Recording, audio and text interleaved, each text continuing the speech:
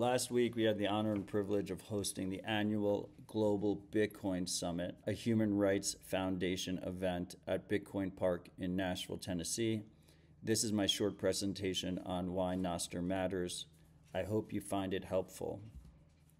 Just a little bit of information on myself. I've been focused on freedom tech adoption and the broader movement for a little over a decade now. That's on the charity side, that's on the venture side, that's on the community side in Nashville, and as a volunteer for the Human Rights Foundation in a educational role for the last six years. So I'm going to give a quick, brief tech overview, and then I'm going to move to the bigger picture. At the core of Nostr is that it is an open protocol. There is no leader, nobody controls it, and there is no permission required to use it or build on it as you see fit. The foundational element is this idea of a identity. The identity is simply a public key private key pair. You can spin up as many as you want. You can connect any information you want to it and you can slowly build a verifiable reputation over time. One example I like to use is Airbnb. I've been using Airbnb for about a decade now and I've built up a reputation there as a as a good guest that host would like to have. But all of that reputation is stuck in Airbnb's walled garden. That is their product. They do not open it up to others to use. In a Nostr world, you could take that reputation in one aspect of your life and then you can use it for other things like applying for a loan, applying for a job, opening any kind of account you want that requires some kind of social credit. You can almost think of it as a open social credit score uh, rather than the closed dystopian systems that we're seeing a lot of governments and companies implement. Then you have this aspect of Nostr called notes. These are events. You can have events of many different kinds. You broadcast them out to the world. They are signed by your identity. Anyone, anywhere in the world can verify that you are the one who committed that event and they can verify that you have not that it hasn't been altered or changed. They can do that locally, they can do that without permission, they can do that without trusting anybody else. Then we have relays. Relays are simply servers that hold these events. There will be many different types of relays.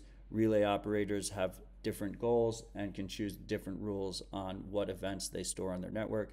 Two easy examples are we have a Bitcoin Park relay that only holds events of our members. Anyone can read from that relay and see those events, but only our members can post to them. Another example is the Primal relay. Primal is attempting to store every event they see from around the world by anyone. Those are two extremes of different types of relays, but we'll see many different variations in between. Then you have clients. Clients are simply apps that you use to interact with the network. They allow you to connect to relays. They show you information in different ways. There are many different types of clients. There are many different types of apps.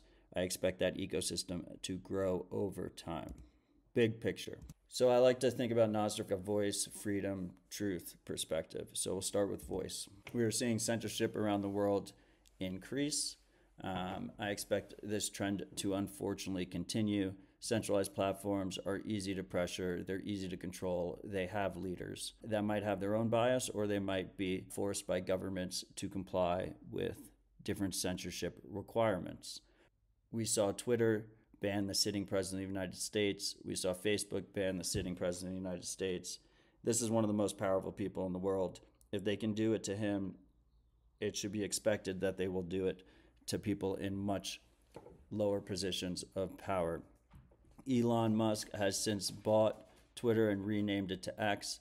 I pick on him a little bit in this presentation, but it's important to realize that in the, the broader aspect of centralized platforms, he, he is one of the better ones in terms of free speech, but even he is, is doing broad based censorship and implementing his own bias uh, throughout his platform. So that's why I choose him. But you can pretty much be certain that the other platforms, the other centralized platforms, are even worse. Recently, we've seen him implement a lot of censorship out of India with the Modi regime. We also saw Brazil straight up ban his app because they wanted more censorship. He put up a big face, said that he would not comply. It appears that he is complying. with all of their requests going forward. It's also not just government censorship. We've seen him take the at music handle from someone who had it for 16 years ago. If you are using a centralized platform, you are completely at the mercy of the leaders that are in control. Last but not least, let's take it from him directly. Elon has said that if this election results in Vice President Harris winning, he might get arrested and thrown in jail. X might get banned. They also just recently released their first global transparency report for the first half of 2024. They got 72,703 removal requests, and they complied with nearly 71% of them. So 51,487 times they complied with the government's request to remove content on X. Let's move to freedom. It's not just the users of these apps that are at their mercy, it's also people building on top of them. We've seen both Reddit and X recently jack up their API prices and close off API access. This means that people that are building apps that rely on these centralized platforms went out of business and just just couldn't continue building their own apps. So if you build on these centralized platforms, you're basically building on quicksand and you have no control over your destiny. This is a non exhaustive example of the many different social apps that all use Nostr. You can take your identity, you can move between them at will. At the end, the user has choice on how they want to use Nostr. And this is a non exhaustive example of all the many different Nostr enabled apps where you can move your identity between and use for various different things. So let's move to truth. This may or may not have been a tweet that Elon sent. He may have deleted it. I don't know. It's impossible to verify if it actually happened or if it did not happen in a world that is increasingly seeing more and more deepfakes and fake news, being in a situation where you can't easily verify the truth is becoming more and more of a concern. This is a note that I broadcasted to the world using Nostr. This is the raw data of that note. So this is the raw data that relays are holding. Maybe some relays are holding it, some relays are not. If you remember back to my earlier slide on relays, the thing about relays is there's no global state of Nostr. Some events will be some places, some events will be other places but you can pretty much expect that if something is considered important by someone, they will store it. And this is what the raw data looks like. This is my identity. This is the hash of the message. This is the hash of the event, so you can prove that it hasn't been changed. And this is the signature. So, this is how you can verify that my identity was what signed this event and that it hasn't been changed over time. Cool part is you can you can do this with media too. So we're seeing more and more deep fakes. In blue here is the hash of my recent podcast with Marty. So you can prove on your own without trusting anyone else this podcast was broadcast by us and that it hasn't been changed when you view it. Incredibly powerful. I mean, at this point right now, Nostr is the only network at scale where you are able to prove yourself that something hasn't been deepfaked or altered.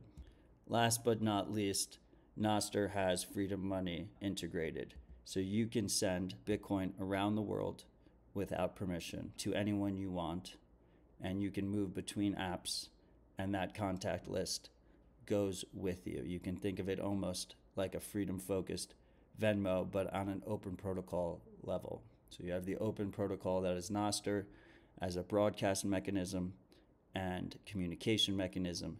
And then you have the open protocol that is Bitcoin, that is a money that you can use without trust, and they seamlessly interrupt with each other. I will leave you on this note from Fascinating on Nostr. In a world where data is centralized, sold, and often used to manipulate behavior, Nostr offers a path toward a more open, user controlled internet. For those who value freedom of expression, privacy, and control over their digital identity, Nostr is a crucial step forward. It empowers individuals, resists censorship, and fosters innovation, making it a vital part of the conversation about the future of the internet. Thank you.